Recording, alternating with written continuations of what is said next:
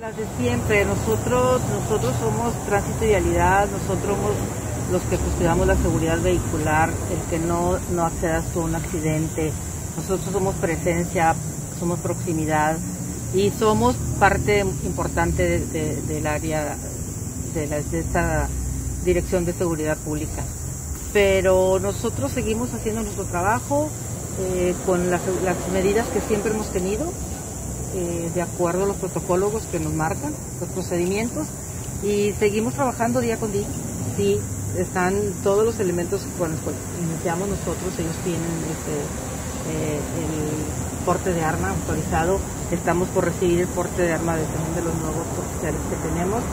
traen sus chalecos de seguridad y traen todas las herramientas de acuerdo a protocolos de, procedimientos en seguridad pública. Entonces ellos están capacitados, ellos tienen cursos constantemente para poder este, llevar un procedimiento correcto y saben cuáles son las indicaciones de esta división y sobre todo las indicaciones del comité.